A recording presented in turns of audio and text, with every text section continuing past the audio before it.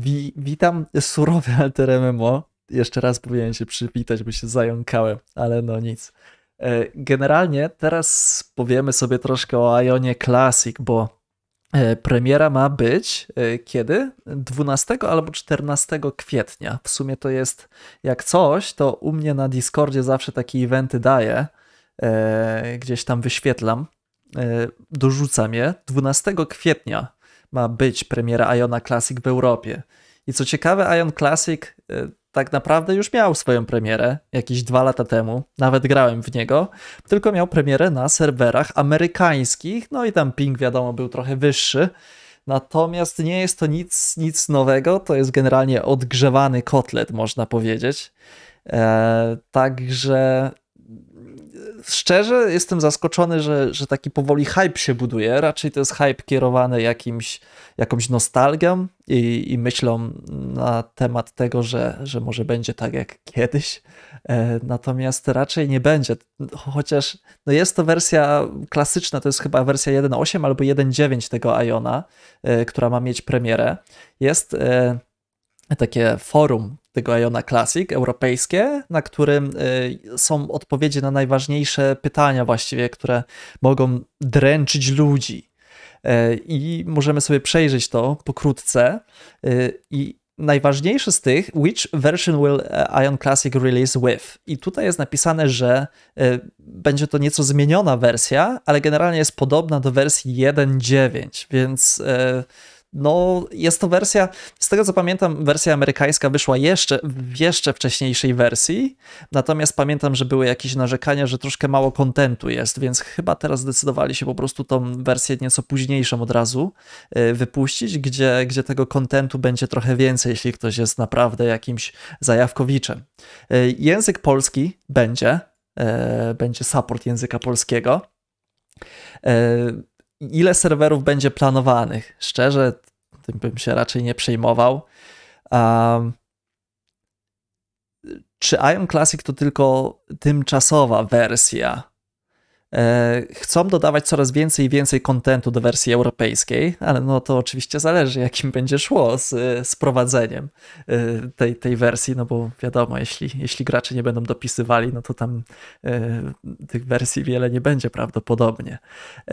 Jakieś evenciki i tak dalej, i tak dalej. Natomiast przejdziemy sobie do tego, co jest prawdopodobnie najistotniejsze, znaczy najistotniejsze, dość istotne z punktu widzenia graczy, czyli czy będzie free to play? No będzie. E, tylko będą restrykcje do zdobywanego doświadczenia, kinachów i zdobywania e, przedmiotów dobrej jakości. I będzie coś takiego jak Seals Energy, i to jest rodzaj premium, e, który będzie zdejmował wszelkie restrykcje, jeśli chodzi o, o grę na, na serwerach Iona Classic. Generalnie oni mówią, że tak jakby model płatności w Ionie Classic będzie dość podobny do tego, co, co znamy w Korei. Y, tutaj, jeśli chodzi o, o, o to premium, to 30 dni będzie kosztowało około 10 euro. Około 10 euro. No WoW ile kosztuje yy, za, za miesiąc? 15, nie? Czyli troszkę taniej. Troszkę taniej niż WoW, tylko pytanie, czy taka skala, skala porównawcza wydaje mi się, że działa na niekorzyść e, Iona Classic, no ale no. Będzie coś też takiego jak, e, albo w sumie tutaj możemy sobie zobaczyć, e, gracze, którzy grają za darmo, mogą osiągnąć level cap, y, dostęp do wszystkich regionów i używać wszystkich crafting skilli, ale z premium nie będą mieli restrykcji y, przy podnoszeniu przedmiotów, znaczy zbieraniu przedmiotów, będą zdobywać więcej doświadczenia, zdobywać ab abyss pointy i e, będą mogli używać essence tapping. Nie wiem, do czego się to konkretnie odnosi. E, w Ionie Classic będzie też e, Deva Pass, e, będzie to oferowała dodatkowe nagrody sezonowe. No i teraz pytanie, czy Deva Pass będzie zawierało pay to win e, itemy? To jest ciekawa odpowiedź w sumie, bo e, tak jakby odpowiedzą bliżej, bliżej premiery. E, w sumie już jest bardzo blisko premiery, a my dalej nie wiemy. E, to jest trochę podejrzane. Natomiast e, pokażę Wam zaraz artykuł, który napisałem odnośnie Iona Classic, który wychodził w e, Ameryce. I, I, prawdopodobnie to będzie dokładnie taki sam model płatności. I Wam podam od razu kilka przy, przykładów. Cześć Setkasik. Cześć Aragast.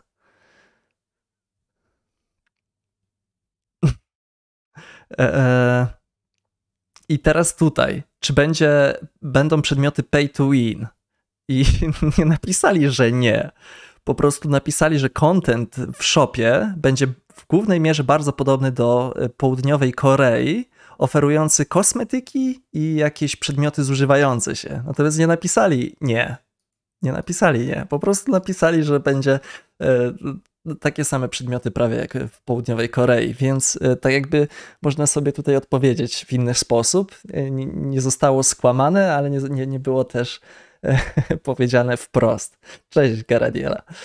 E, teraz tak, e, czy będzie trzeba kupować, e, czy tam jak ktoś kupił, to, to, to czy musi kupować? No nie, bo to jest za darmo. Wersja live, a i ona nie zostanie zamknięta, więc jeśli ktoś tam sobie jeszcze pyka w live'a, no to, to tak jakby nie ma się o co martwić. I właściwie tyle z tych ważniejszych rzeczy. I teraz jeśli chodzi o pay to win, e, o pay to win. I co ciekawe, tutaj były jeszcze pakiety, pamiętam, że zanim, e, zanim była premiera, no to pierwszy pakiet kosztuje 20 dolarów, ja tutaj pisałem, e, drugi pakiet 50 dolarów, 90 dni premium, takie tam, takie tam.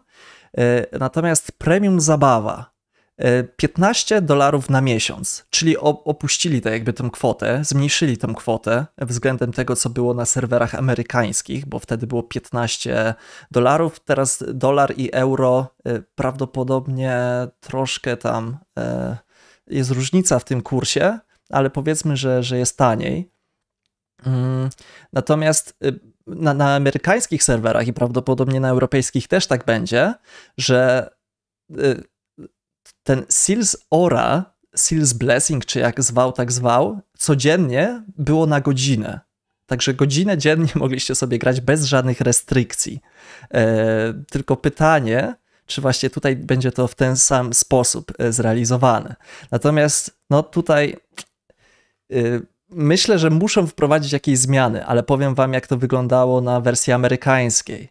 Otóż EXP był zmniejszony aż o 50%, jeśli nie mieliście um, jeśli nie mieliście premium. O 50%.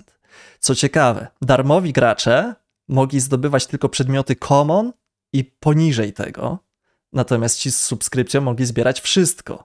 Więc kurde, widzicie już te dwa punkty, jaka to jest różnica, jeśli chodzi o o, o to premium i ten free trial. Ten free trial to jest naprawdę trial, nie? To nie jest tak, że ktoś sobie będzie mógł spykać tak spokojnie na tym free trialu, tylko jednak musi wyskoczyć z tych 10, 10 euro czy dolarów. Jeszcze raz, e, bo zapomniałem.